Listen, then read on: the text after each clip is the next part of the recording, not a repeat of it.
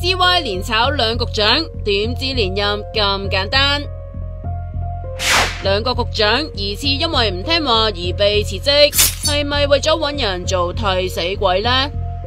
今次退休系咪自愿？系咪自己好乐意噶？乐 意，我哋我讲嗰度睇咗咯。曾玉成寻日暗示细路曾德成唔系主动辞职，也俾 C Y 逼走噶。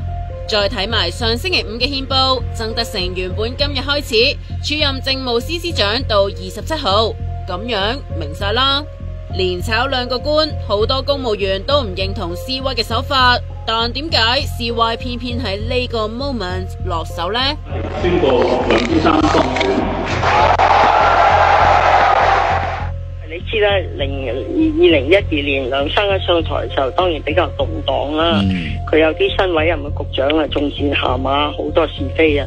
当时佢当然系冇乜选择嘅余地，咁而家可能佢觉得自己稳定落嚟啦，又要争取连任啦，咁咪要即系加强佢嘅内阁啦。叶柳都话，连炒两个局长，手法都几辣。仲以英国首相卡梅伦为上年大选一次过炒几个内阁成员做例子添，为咗连任学埋晒啲外国势力，睇怕唔止咁简单噃。三二一！呢两个局长啊，系为占领运动咩镬咧？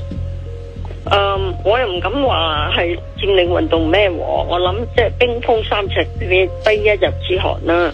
就两位局长其实一路都有听到有人对佢批评，唔啱做换人，听落好似好合理。特首办同梁莹仲猛放风，话呢个做法证明中央撑 CY 地位稳阵，但林和立就收到风，话中央唔满意 CY 系咁分化香港人。